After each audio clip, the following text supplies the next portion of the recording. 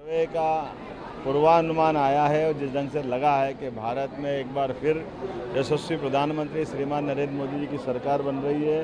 मैं भगवान से कामना करता हूँ, ये सरकार फिर भारत को आगे बढ़ाने में सिद्ध हो।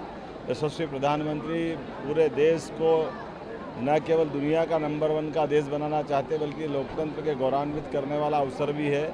मेरी अपनी ओर से मदुरई वासियों को तमिलनाडु वासियों को मध्य प्रदेश सरकार की ओर से भी बधाई। और ये प्रेम हमारा बना रहे। मैं यही कामना करते भगवान से कामना करता हूँ कि हमारी हिंदू सनातन संस्कृति के झंडा लगातार लहराता एग्जिट पोल के नतीजे सामने आए हैं और उस हिसाब से लग रहा है कि एक बार फिर एनडीए की प्रचंड बहुमत से सरकार बनने जा रही है।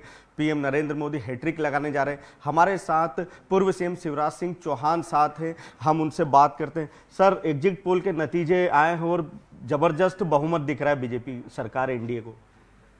अब की बार 400 पार, ये नारा नहीं था, ये जनता के दिल की आवाज़ थी। ये भारत की जनता का संकल्प था तीसरी बार मोदी जी को प्रधानमंत्री बनाने के लिए।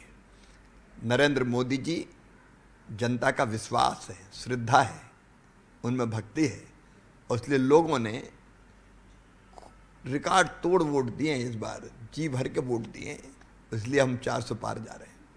आप 400 पार जा रहे हैं लेकिन कांग्रेस सौ के अंदर सिमटती दिख रही है।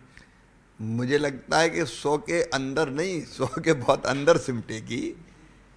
और इस चुनाव के बाद अप्रासंगिक ही हो जाएगी।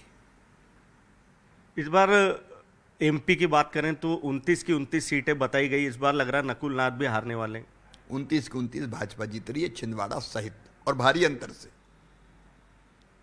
अ, इस बार काफ़ी कुछ रहा, ध्यान लगाया। पीएम ने उसको लेकर भी विपक्ष ने खूब राजनीति की, लेकिन अब तो एग्जिट पोल के बाद विपक्ष गायब दिख रहा है। विपक्ष तो घटिया आरोप लगाना, व्यक्ति की गरिमा को ठेस पहुँचाने वाले काम